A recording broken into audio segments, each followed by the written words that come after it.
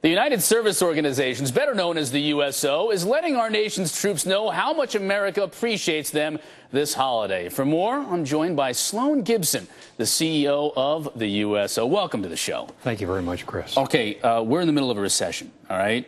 How much has that affected? We ask people all the time, how much does this affect you? How much does it affect the USO? You know, our, our core support comes from a million and a half Americans uh, that give relatively small amounts day in and day out. And that support has remained steady uh, throughout this period of time. Uh, on an even brighter note, uh, the support from corporations and major donors is up about 30% year over year.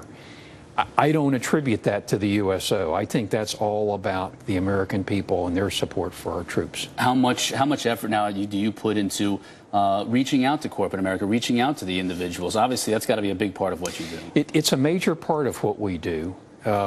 We have great ambitions uh, for doing a lot more for our troops and their families. And in order to be able to fuel those ambitions, that means that we've got to work hard on the fundraising front. Speaking of doing what you do for the troops and their families, uh, we were talking before we went on. I don't think there's been a time since the end of World War II where American servicemen and women have been spread out around the globe as much as they are right now. How difficult does that make your job? Well, uh, it is. Uh, we have a, a, global presence. We've got uh, over 135 centers all over the world. We're doing 60 or 70 entertainment tours around the world every single uh, year, 500 to 600 performances or events. So there are things happening in almost every time zone around the mm -hmm. world. Mm-hmm. There are a few that we miss, and that's that's a part of the challenge, but it's a part of the fun too. When I think of the USO, I think of Bob Hope and Marilyn Monroe and World War II and the shows. Obviously, you're still doing those shows, but you've got to be doing a lot more, aren't you? Well, we are, uh, Chris part of our challenge is to constantly assess the needs of our troops and their families and make sure that we're meeting those most urgent needs. Think about it. Uh, some of the troops that need us the most today are deployed in some of these uh, small mm -hmm. unit forward operating bases or combat outposts uh, in Iraq or Afghanistan. And so we can't build a USO center in every one of those, so we've got to find ways to reach them. We've developed pr uh, programs like USO in a Box. It's an air transportable mini USO center. Hmm. Has internet and telephones and video games and a place to watch movies.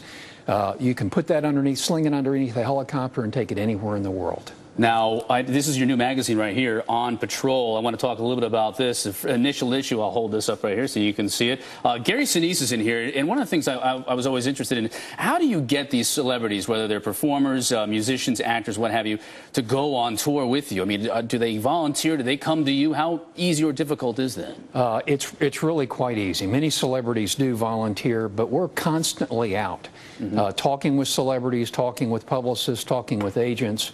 Uh, rarely, if ever, do we actually get a no. Oftentimes, the challenges we meet are more scheduled challenges uh, because these guys and gals, they understand how important it is to our troops. I, I, I tell celebrities when I'm out recruiting, you'll never perform, you'll never appear before a more appreciative audience.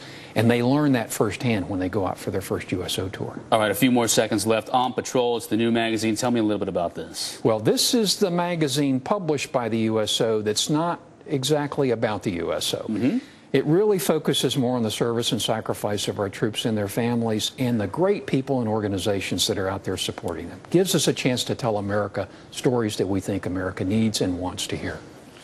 Thank you, Sloan Gibson, President and CEO of USO. Alexis, back to you. All right, Chris, great story. Coming up, three independent business owners who are